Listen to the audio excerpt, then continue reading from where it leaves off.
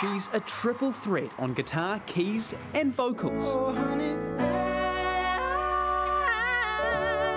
Just let me adore you. Now Los Angeles based Nio, a Kiwi from Tauranga, is one seventh of Harry Styles' backing band. How did that all happen? Weird LA things. um, I was playing in another band of a guy called Jonathan Wilson, and um, some of Harry's producers and friends were at his gig, and they just they saw me and they were like, "Hey, do you want to do this thing?" I was like, "Okay, sounds good." The 27-year-old has recently finished the US leg of the pop star's second concert tour. As for what he's like behind the scenes, Watermelon sugar high. I bet you get that question all the time. He's a legend, and I can honestly say that. So it's so wonderful to work for a human being who has a vision, a beautiful vision for life. Ny Oh's been performing for the last 12 years, recently releasing her new single, Australia. I woke up from my dream to a figure standing before me.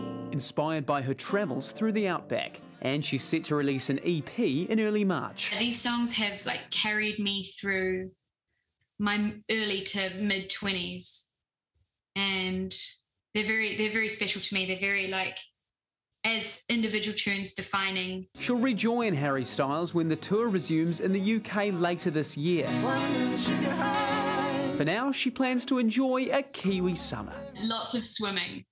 Swimming all day. before taking on the rest of the globe with one of the world's biggest stars. Jacob Johnson, One News.